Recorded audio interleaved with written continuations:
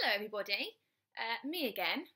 I am back to give you the next part of our book. There's a boy in the girls' bathroom. I did think that you'd see it back to front because when I'm filming it, it looks back to front, but the camera must um, spin it around by the time I'm finished. So, um, to start us off today, I know I mentioned last week when you watched um, the video on Friday um, about what we're going to be doing and doing some comprehension and things like that. So, what you'll need when you're watching this morning is a pen and some paper. Um, your home learning book would be fine. And what I'm going to ask you to do just today, just to kind of ease us into the book, is to look for a range of things while I'm reading. So you can have me reading to you and then hopefully be able to jot down the things I'm asking you to look for. So, first thing I'm going to ask you to look for are high level vocabulary, adjectives, and when you hear them in the book, jot it down in your book. Next thing, adverbs. I'd like you to see if you can spot any of those. So, adjectives, adverbs, prepositions. So, where something is, just uh, describing its position, preposition. Um, I would like you to spot some verbs, okay, some doing words. And what's the last thing I would like you to do? Um, the last thing I would like you to do is any kind of fronted adverbials, any nice sentence openers, paragraph openers, um, because ultimately you'll be able to pick these up and use them in your own writing. So that's what I've asked you to look out for today. So that was high level vocabulary, adjectives, adverbs, preposition, verbs, and fronted adverbials or kind of some wowy paragraph or sentence starters. So hopefully you've had a chance to jot that down. I will put that onto the um, daily kind of working home learning sheet that um, that you'll have as well. Okay, so we have finished chapter one that pretty much introduced um, our characters or some of our characters. Um, Bradley Chalkers was the boy who was sat at the desk at the back of the room. Mrs. Ebbel was the teacher, and then we had what's the other boy's name? The new boy, uh, Jeff, the new kid. Okay, so I'm going to read you chapter two and chapter three today uh, because chapter two is a really short one, so otherwise it wouldn't really be worth it. Um, so as I say, jot down as I read, and um, I hope you enjoy it. Chapter two. There are some kids you can tell just by looking at them who are good spitters. That is probably the best way to describe Bradley Chalkers. He looked like a good spitter. He was the oldest and the toughest looking kid in Mrs. Ebbel's class. He was a year older than the other kids. That was because he had taken the fourth grade twice. Now he was in the fifth grade for the first, but probably not the last time. Jeff stared at him, then gave him a dollar and ran away. Bradley laughed to himself, then watched all the other kids have fun. When he returned to class after recess, recess is another word for kind of break time, he was surprised Mrs. Ebbel didn't say anything to him. He figured that Jeff would probably tell on him and that he'd have to give back the dollar. He sat on his desk at the back of the room, last seat, last row. He's afraid to tell on me, he decided. He knows if he tells on me, I'll punch his face in. He laughed to himself. He ate lunch alone, too. As he walked in from lunch, Mrs. Ebbel called him to her desk. Who? Me? he asked. He glared at Jeff, who was already sitting down. I didn't do anything.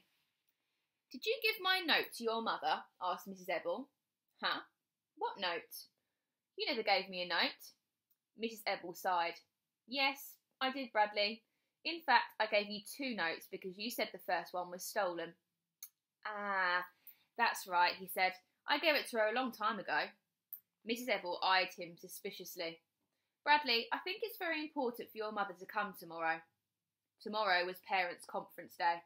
She can't come, said Bradley. She's sick. You never gave her the note, did you? Call her doctor if you don't believe me. The doctor that the, the school has just hired a new counsellor, said Mrs. Ebbel, and I think it's very important that your mother meet her. Oh, they already met, said Bradley. They go bowling together. I'm trying to help you, Bradley. Call the bowling alley if you don't believe me. OK, Bradley, said Mrs. Ebbel, and she let the matter drop.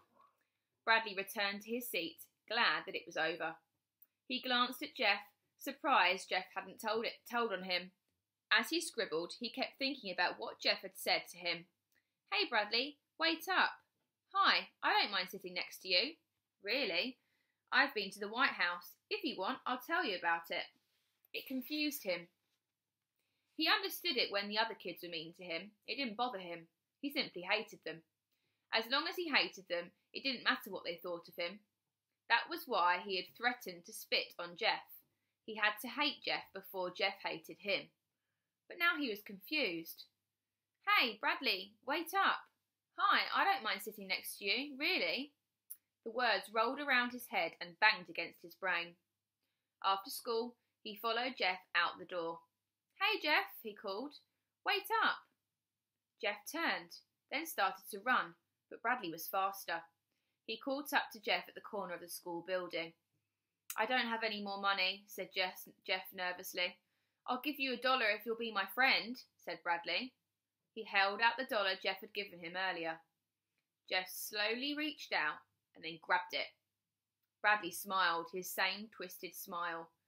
Have you ever been to the White House? he asked. Um, yes, said Jeff. Me too, said Bradley. He turned and ran home. So that's the end of chapter two. So we're kind of getting to know the characters of these two boys. Have a little think about what was in the blurb at the beginning. Um, Bradley Chalkers tells lies. So has he been to the White House? We don't know. The moment, I'm assuming he hasn't been, but we'll have to wait and see. So chapter three is a little bit longer. I'm Going to read you chapter three. So hopefully you've managed to jot a few of those words down so far. Um, I know it's not hugely um, descriptive in that um, paragraph, but just see how you go. Okay, chapter 3 then. Bradley opened the front door to his house, then made a face. It smelt like fish. You're home early, his mother said from the kitchen. She was a large woman with fat arms. She was wearing a sleeveless green dress and holding a butcher's knife. My friends and me, we raced home, he told her. A fat fish about the size of one of Mrs. Chalker's arms lay on the board on the counter. Bradley watched her raise the knife above the fish and then quickly hack off its head. We walked down the hall to he walked down the hall to his room and closed the door. Hey everybody, he announced. Bradley's home. But he was pretending that it was someone else who was speaking. Hi Bradley, hi Bradley, he said. Hi, everybody, he answered, this time speaking for himself. He was talking to his collection of little animals. He had about twenty of them. There was a brass lion that he had found one day in a garbage can on the way to school. There was an ivory donkey that his parents had brought back from their trip to Mexico.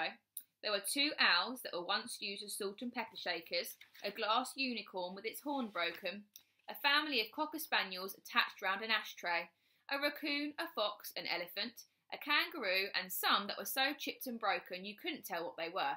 And they were all friends. And they all liked Bradley. Where's Ronnie? Bradley asked. And Bartholomew? I don't know, said the fox. They're always going off together, said the kangaroo. Bradley leaned across the bed and reached under his pillow. He pulled out Ronnie the rabbit, the rabbit, and Bartholomew the bear. He knew they were under his pillow because that's where he put them before he went to school. What are you two doing back there? he demanded. Ronnie giggled. She was a little red rabbit with tiny blue eyes glued on her face. One ear was broken. Nothing, Bradley, she said. I was just taking a walk. Uh, I had to go to the bathroom, said Bartholomew. He was a brown and white ceramic bear that stood on his hind legs. His mouth was open, revealing beautifully made teeth and a red tongue. They were making out, announced the Mexican donkey. I saw them kissing. Ronnie giggled. Oh, Ronnie, scolded Bradley. What am I going to do with you? She giggled again. Bradley reached into his pocket and took out a handful of cut up bits of paper, his language test. Look, everybody, he said, I bought you some food. He dropped the bits of paper onto the bed, then scooped all of his animals into it. Not so fast, he said. There's plenty for everybody. Thank you, Bradley, said Ronnie. It's delicious. Yeah, it's real good, said Bartholomew. Don't play with your food. the mother cocker spaniel told her three children. Pass the salt, said the pepper owl. Pass the pepper, said the salt owl. Let's hear it for Bradley, called the lion. They all cheered. Yay, Bradley! Ronnie finished eating and then hopped off by herself, singing doody doody doo. Then she said, I think I'll go swimming in the pond. The pond was a purple stain on Bradley's bedspread where he'd once spilt grape juice. Ronnie jumped into the water. Suddenly, she cried, Help! I have cramp! You shouldn't have gone swimming right after eating, Bradley reminded her. Help! I'm drowning! Bartholomew looked up. That sounds like Ronnie, he said. It sounds like she's drowning in the pond. He hurried to the pond to rescue her. Hold on, Ronnie, he shouted. I'm. The door to Bradley's room swung open and his sister, Claudia, barged in. She was four years older than Bradley. Get out of here, he snapped at her, or I'll punch your face in. What are you doing? she teased. Talking to your little animal friends? She laughed, showing her braces. It was Claudia who had broken Ronnie's ear. She had stepped on it accidentally. She told Bradley it was his fault for leaving his animals strewn all over the floor. He didn't tell her that Ronnie wasn't on the floor, but lost in the desert. Instead, he had said, Who cares? It's just a stupid red rabbit. Mum wants you, says Claudia. She told me to get you. What does she want? She wants to talk to you. Tell your animals you'll be right back. I wasn't talking to them, Bradley insisted. Well, what were you doing then? I was arranging them. I was putting them in alphabetical order. It's a project for school. Call my teacher if you don't believe me. Claudia sniggered. Although she always made fun of Bradley's animals, she had really felt bad when she stepped on the rabbit. She knew it was Bradley's favourite. She'd bought him the bear to make up for it. What do I want a bear for? he said when she gave it to him. Bradley went into the kitchen. The fish, now cut up and covered with onions, was frying on the top of the stove. You want me? he asked. How's everything at school? asked his mother. Great. In fact, today I was elected class president. Your grades all right? Yes, Mrs. Ebbel handed back a language test today, and I got another A. In fact, it was an A plus. May I see it? Mrs. Ebbel hung it on the wall next to all my other A tests. Mrs. Ebbel just called, said his mother. His heart fluttered. Why didn't you tell me that tomorrow was parents' conference day? asked his mother. Didn't I tell you? he asked innocently. No, I don't think so. I told you, he said. You said you couldn't go. You must have forgot. Mrs. Ebbel seems to think it's important for me to be there, said his mother. That's just her job, said Bradley. The more mothers she sees, the more money she makes. Well, I've made an appointment with her for eleven o'clock tomorrow morning. Bradley stared at her in disbelief. No, you can't go, he shouted, stamping his foot. It's not fair. Bradley, what? It's not fair, it's not fair. He ran to his bedroom and slammed the door behind him. Mm. A moment later, his mother knocked on the door. What is it? she asked. What's not fair? It's not fair, he yelled. You promised. What did I promise, Bradley? What did I promise? He didn't answer. He couldn't until he thought up why it wasn't fair and what she'd promised him. He stayed in his room until Claudia told him that he had to come to dinner. He followed her out of the dining room where his mother and father were already sitting down. Did you wash your hands? asked their father. Yes, Bradley and Claudia lied. Bradley's father worked in the police department. He'd been shot in the leg four years ago while chasing a robber, and now he needed a cane to walk, so he worked behind a desk. He didn't like that sort of work and often came home grumpy and short tempered. The police never caught the man who'd shot him. I hate fish, Bradley said as he sat down. So do I, said Claudia. Sticks to my braces and I taste it for weeks. Brussels sprouts make me throw up, said Bradley. They smell like old garbage, said Claudia. That's enough, said their father. You'll both eat what is on your plates. Bradley held his nose with one hand while he picked up a Brussels sprout with the other and put it whole into his mouth. What's all this nonsense about your mother breaking her promise? asked his father. Bradley was ready. She'd promised she'd take me to the zoo tomorrow, and now she won't. What? exclaimed his mother. I never said that I'd take you to the zoo. She did too, said Bradley. Since there's no school tomorrow, she said she'd take me to the zoo. I didn't even know there was no school tomorrow until this teacher called me this afternoon, his mother protested. You promised, said Bradley. Okay, said his father. Janet, what time is your appointment tomorrow with Bradley's teacher? Eleven o'clock. Okay, you can go to your appointment and still have time to take Bradley to the zoo after lunch. But I never did say I'd take him to the zoo. You did, accused Bradley. And we will have to go in the morning. We will have to be at the zoo at, and we have to go in the morning. We have to be at the zoo at eleven o'clock. Claudia snickered. Why do you have to be at the zoo at eleven o'clock? He glared at her, then turned back to his father. Because that's when they feed the lions. Claudia laughed. She promised she'd take me to see them. She promised she'd take me to see them feed the lions at eleven o'clock. Bradley insisted. His mother was flabbergasted. I, I don't even know when they feed the lions. Eleven o'clock, said Bradley. Don't lie to your mother, said his father. Really, said Bradley, they feed the lions at eleven o'clock. I don't tolerate lying, said his father. I'm not lying, said Bradley. Call the zoo if you don't believe me. Don't lie to your mother and don't lie to me. Call the zoo. Your mother said she never promised to take you to the zoo. Well, she's lying.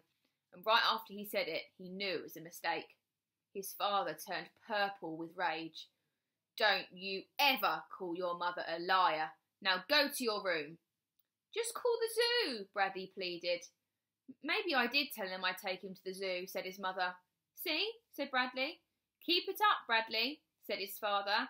Just keep it up. You want to be a criminal when you grow up. You want to spend your life in jail. I see people just like you every day at the police station. Just keep it up. Bradley stared angrily at his father. Not all criminals go to jail, he asserted. What about the man who shot you? I said, go to your room.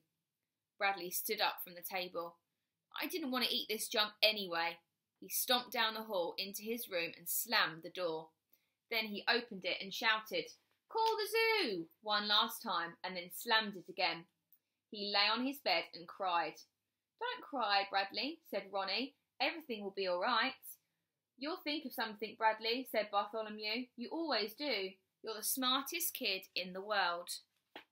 And that is the end of chapter three. So quite a lot's happened actually since obviously the end of the first chapter was the boys leaving school, um, and quite a lot has happened since then. So have a little think in your head, a little summary of what's gone on so far to make sure that you're kind of ready for the next part tomorrow, which will be chapter four.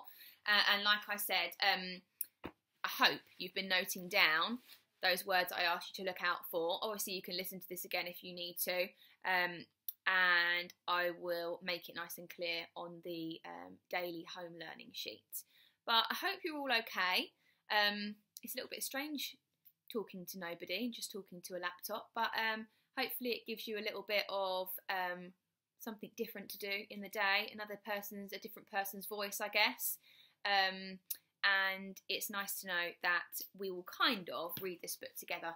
I know I didn't really say it before, but if you have got this at home or you wanted to get yourself one, do feel free to follow um, follow along with me. I always make it clear what chapter we're on and things like that.